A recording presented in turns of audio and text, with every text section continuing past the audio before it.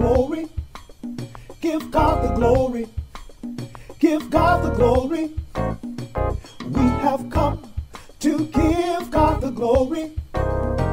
He has been so good to, so good, so good, so good.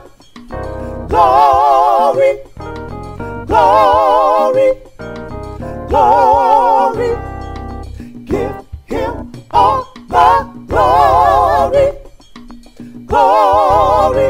He has been so good to, so good, so good, so good to me. Good morning and welcome to the Luke, St. Luke African Methodist Episcopal Zion Church. This is Pastor Chapple. I am delighted that you have joined us for worship on this day. I trust that you can encounter God here and now in ways that change your life. Be blessed as you worship with us today. I'm glad to have you. We go now to worship.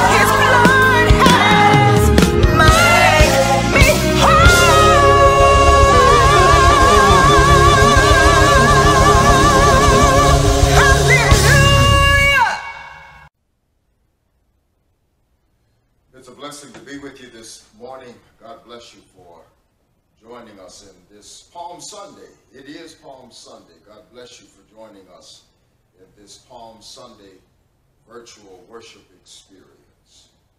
I want to look at a familiar passage of Scripture concerning Jesus' triumphant entry into Jerusalem.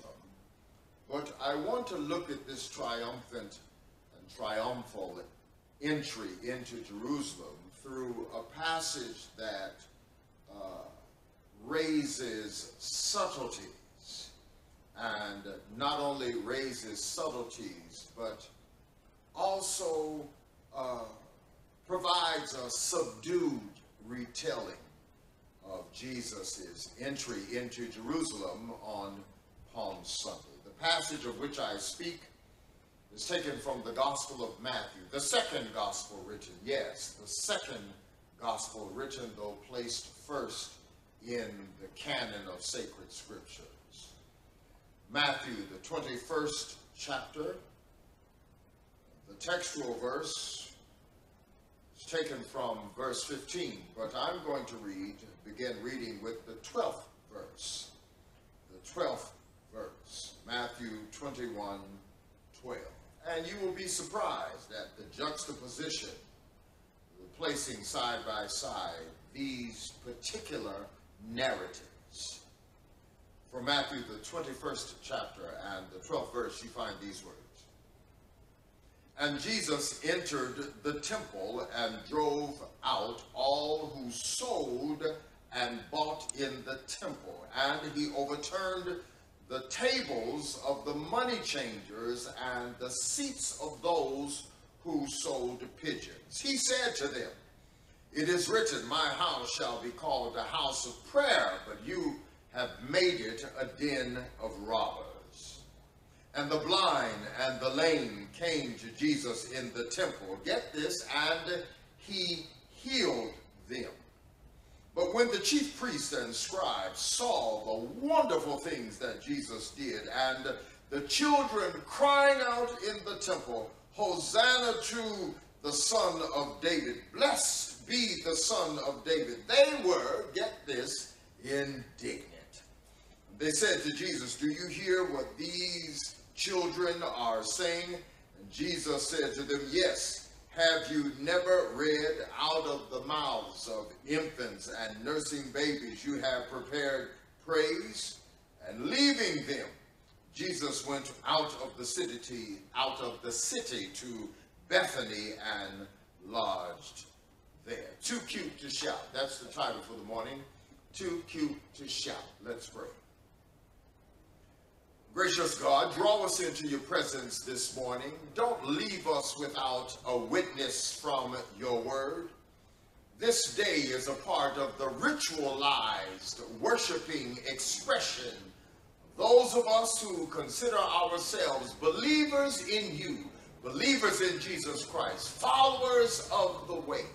And as we seek to follow you and to bless you and to affirm and adore you, O God. We need to hear from you even on a Sunday that in some ways brings before us ordinary things that we take for granted. Oh God, don't leave us taking you for granted this morning. Speak, Lord. Our souls await to hear from you. This we pray together in thy son's name. Amen and amen. Too cute to shout. Too cute to shout. The words of the text, hear these words, hear these words. They were angry. Some translations, other translations say sore displeased. Other translations say indignant. They were angry. Their energy was negative.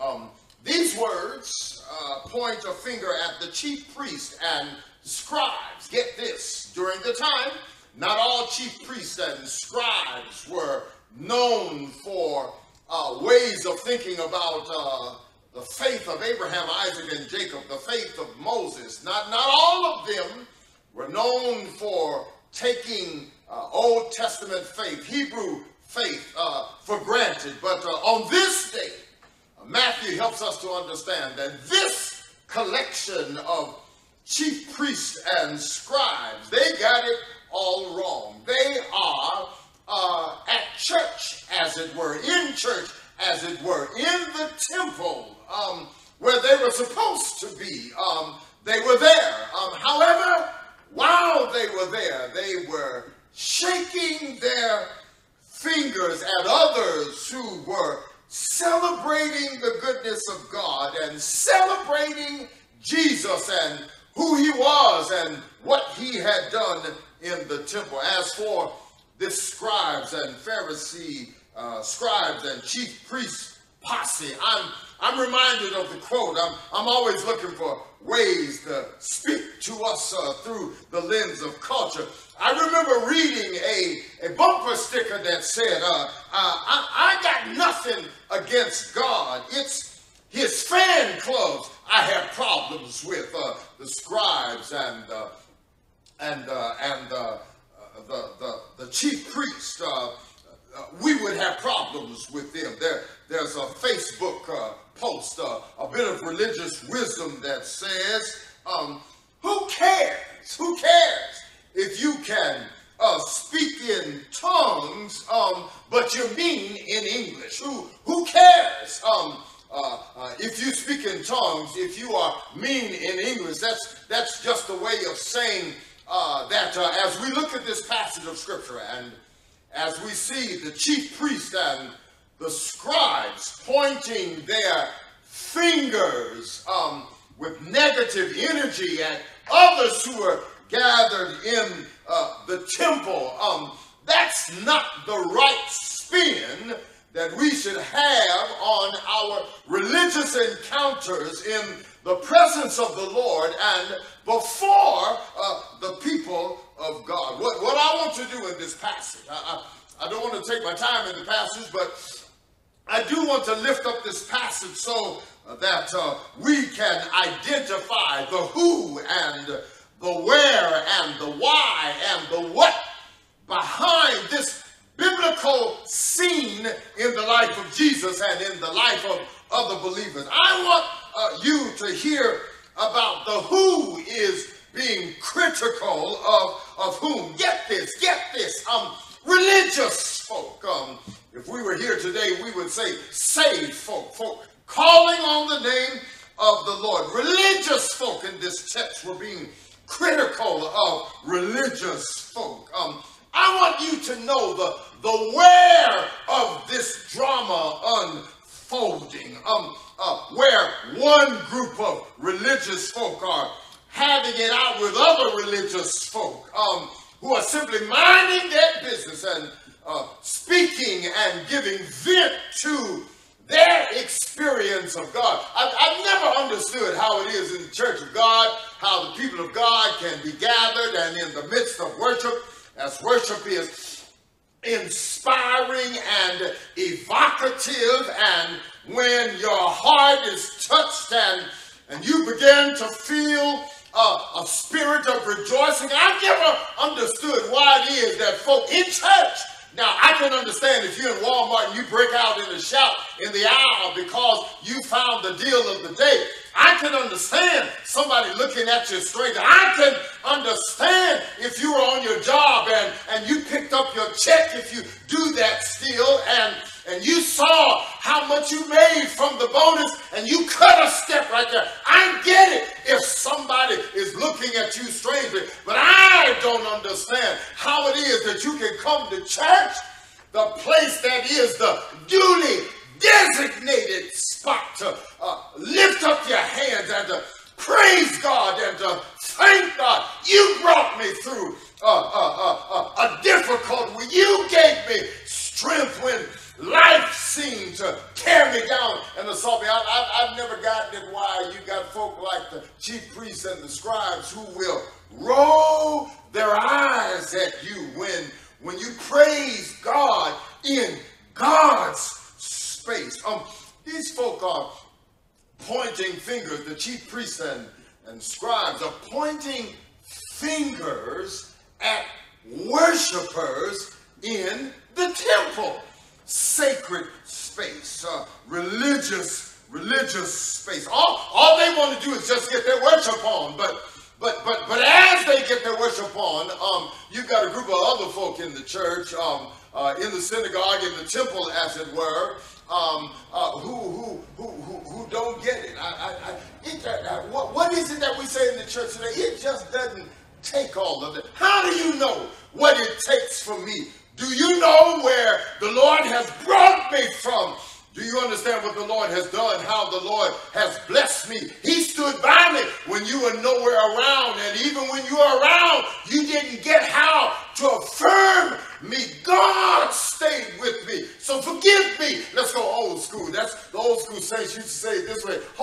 In other words, um, uh, hold on to my responsibilities while I adhere to my responsibility of giving God his, his due praise. I'm aware of this passage. Um, the finger pointing goes on in the temple, in religious space, worshiping space, sacred space. Um, um, I want you to understand um, the what uh, that caused um, this rift between people um, in God's house. Um, and, and you'll love this one. You'll love the, the what of brought this drama on in the church. Um, worship wars. Um, yes, worship wars. Um, like, like we have uh, in the church still today, across church traditions, across ethnic religious communities. There, there is a worship war, a cultural war that's going on in church. You got the old guard that's like the chief priests and scribes. Uh,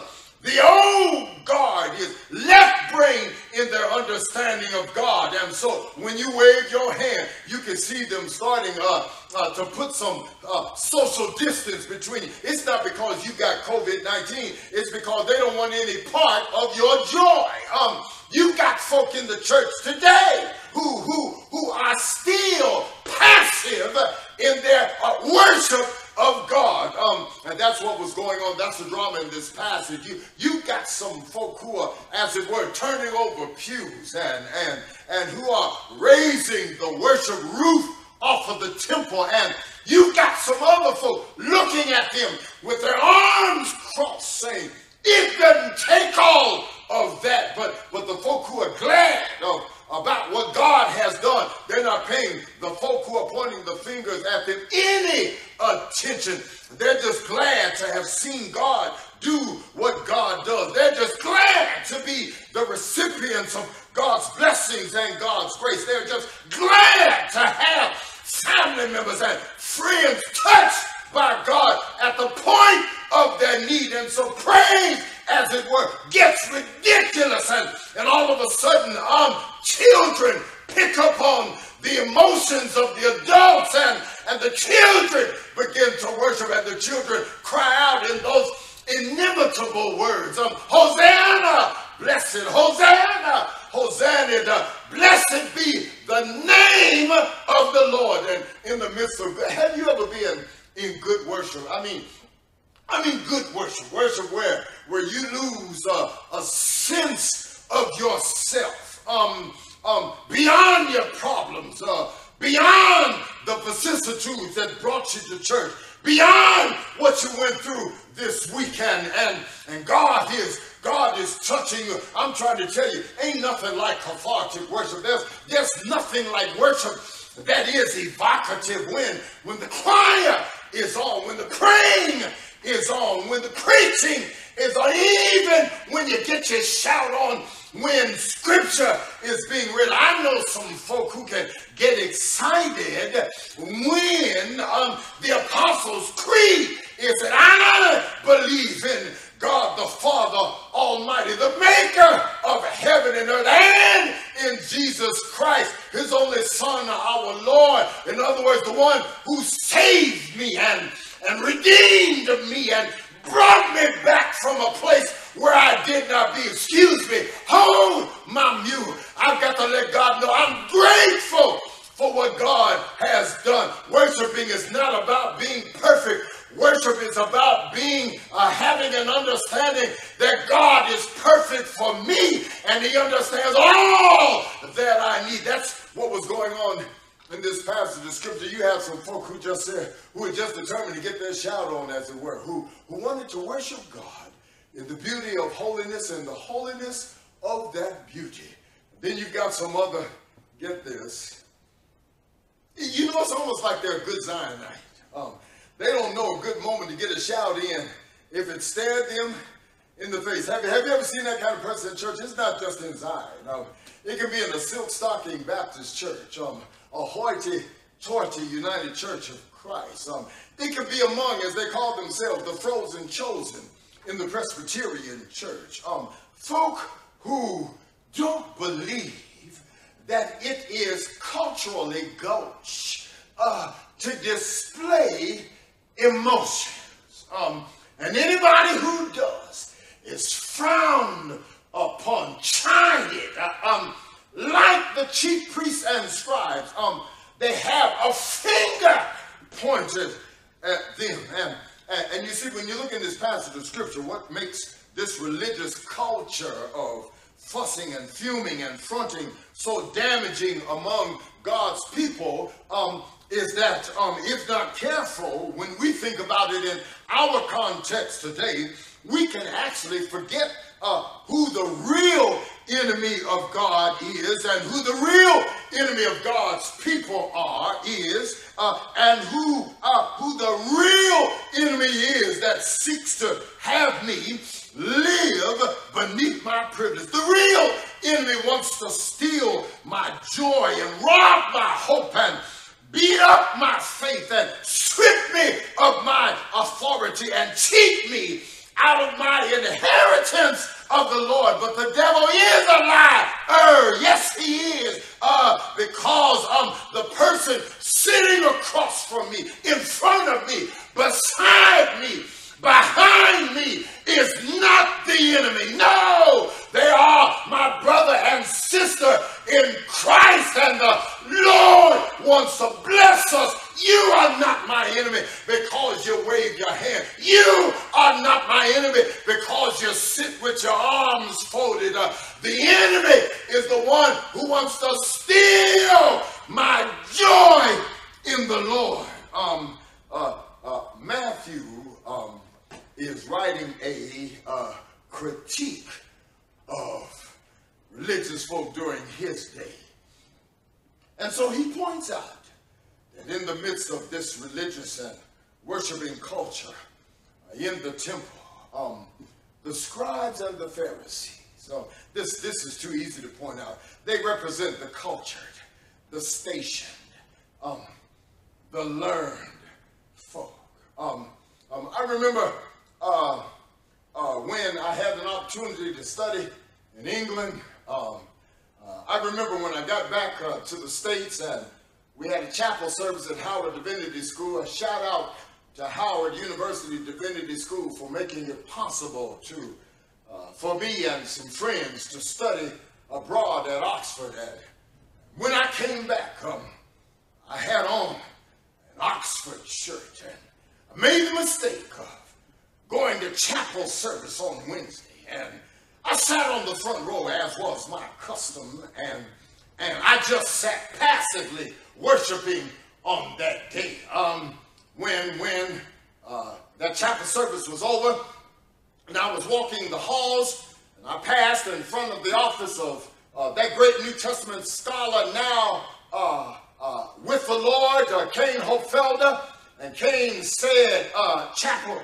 come in my office. And I didn't know what, what, what, what had happened. I hadn't done anything, but I saw a look of consternation on his face. And Cain Hope Felder shook out his hand and he said, Welcome to being like me, uh, uh, a part of that Oxford study community. Um, but I want to tell you something. Um, I noticed in chapel service today, you never waved your hands once. You, you never rejoiced. And I know that you need to hold up your hand because you had an opportunity to study in rarefied air. Being at Oxford is not about your intellect alone. Being at Oxford is not not about well, being well stationed in academic circles. For you, a black man in a racist society, being at that school is about look what the Lord has done for you. I, I just want to challenge you anytime from now on when you get to a service if anybody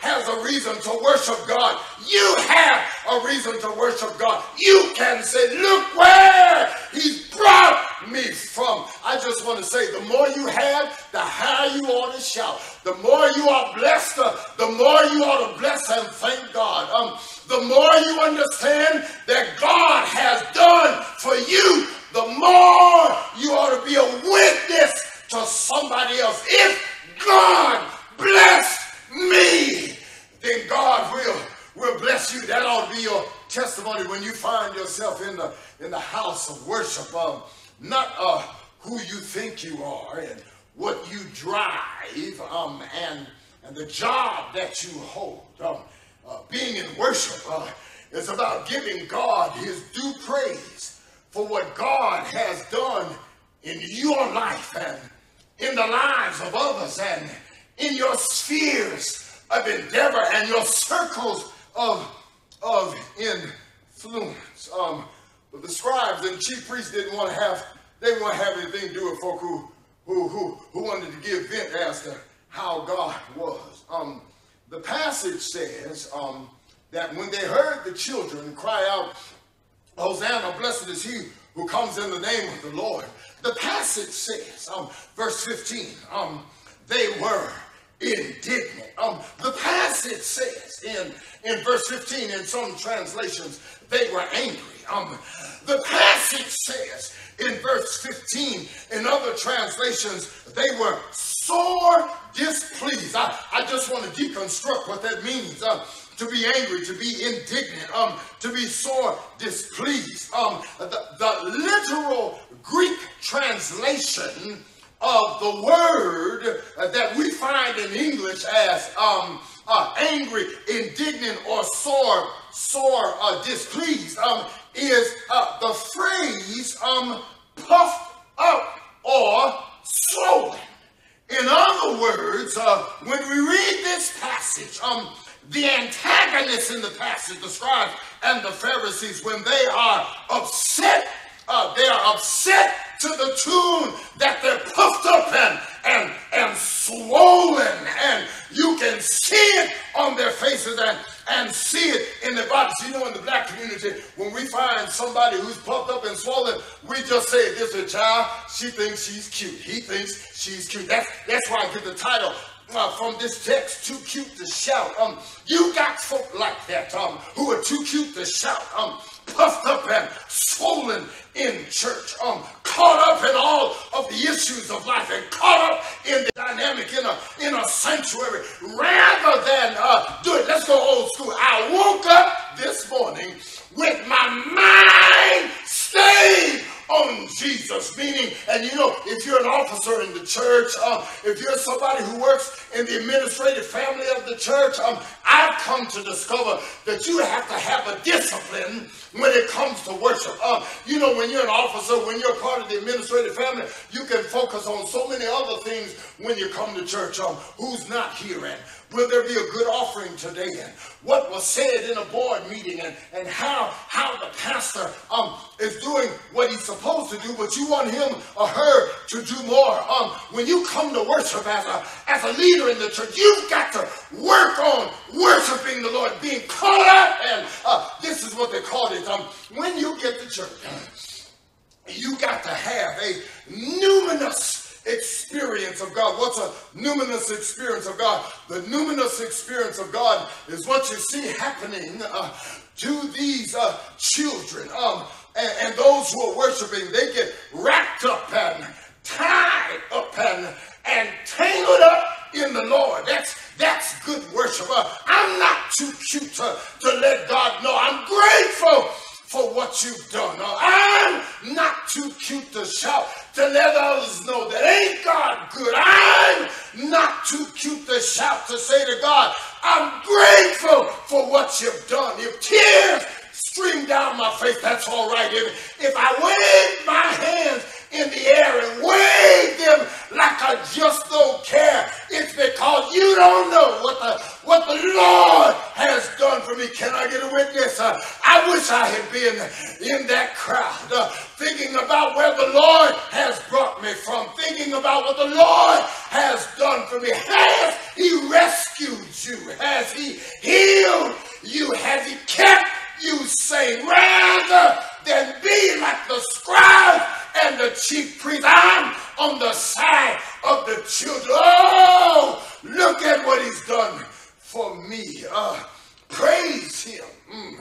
Glorify him. Mm. Magnify him. Mm. God is a good God. Get this. He didn't have to do it. Uh, but Lord, anyway, you bless me. I'll be, can I get a witness up in here? I'll be, I'll be satisfied. It doesn't matter who's looking at me. It doesn't matter who's looking at me cross-eyed. It doesn't matter who has their arms folded.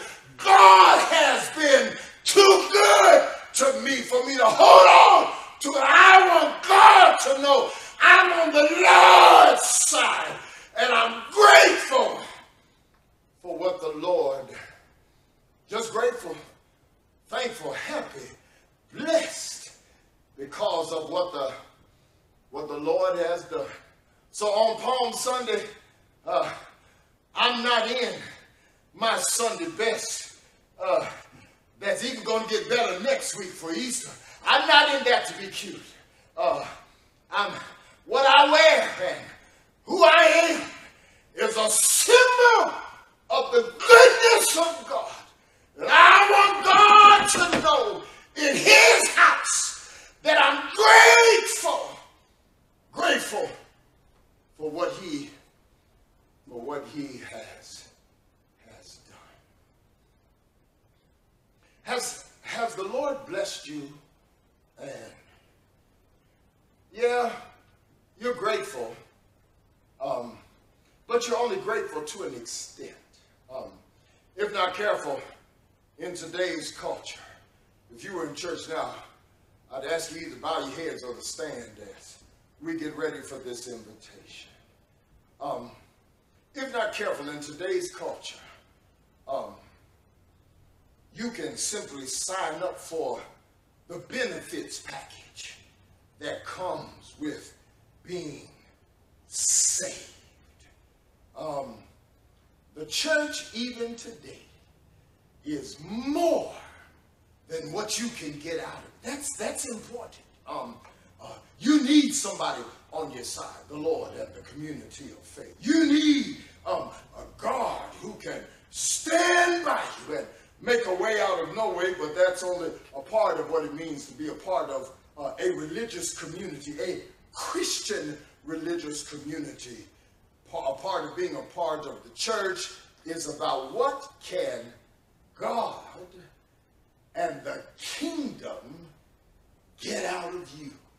We, are, we often forget that, certainly in the United States, um, we, we are so selfish in uh, our affirmation of our cultural and political and social identity. Uh, we're singing like Janet Jackson. What have you done for me lately? But Janet ain't a theologian. She's an entertainer. Uh, the writer theologian of scripture help us to understand that there is an aspect of our lives through which God makes demands on us. I'm, I'm going to bless you. I'm, I'm going to prosper you. Uh, I'm going to redeem and sustain you. That's a part of the covenant agreement that, that the Lord makes with us. Sealed, signed, and delivered on Calvary. But Jesus says, while I'm here, won't you just get it that I need you to do something for me? That's where an invitation to discipleship. Notice, not just membership, that's a part of what it means, but the invitation to discipleship, what it means to follow Christ. Uh, give your heart, give your life to Jesus and God's. Follow us to the end of this virtual worship experience as a prayer for you to pray. There's a number for you to call. I would take delight in journeying with you. Well, it's another day's journey, and I'm I'm so glad. Be safe out there. Wear your mask. Uh, remain socially distanced. Be vigilant. Um, uh, do what we need to do. The pandemic is not over. But thank God for the breakthrough. In this moment, let me offer this blessing. And now, may the grace, the mercy, and the peace of God rest, rule, and abide, old school language, with you now and forever. And let me add this, even if you wake up and you've made your bed in hell, the psalmist says, Behold, God, thou art there. The Lord will see you through now and forevermore. Come on and say it with me. Amen. Amen.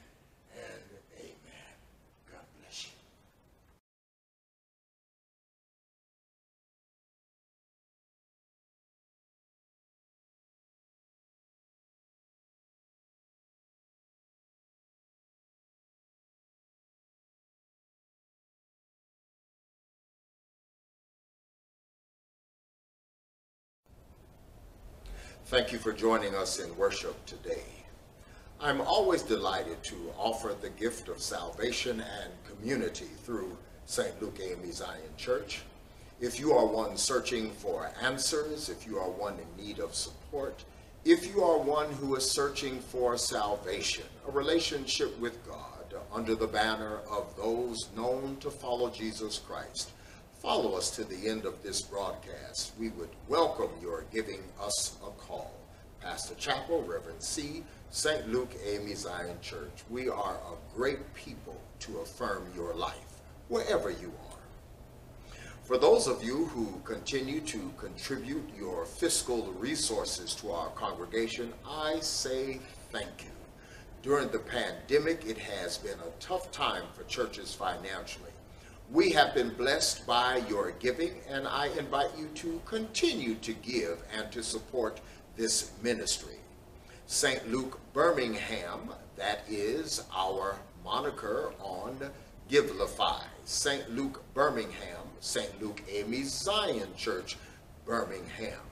You're also welcome to drop your contributions by St. Luke and those within the Birmingham area. You are also welcome to mail them to us. Follow us to the end of the broadcast and you will see our address. Thank you. The Lord bless you. Be safe. Wear that mask. Remain vigilant.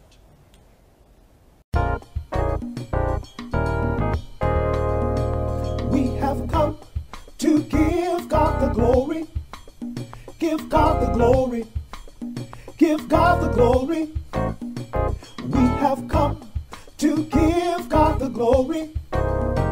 He has been so good to, so good, so good, so good. Glory, glory, glory.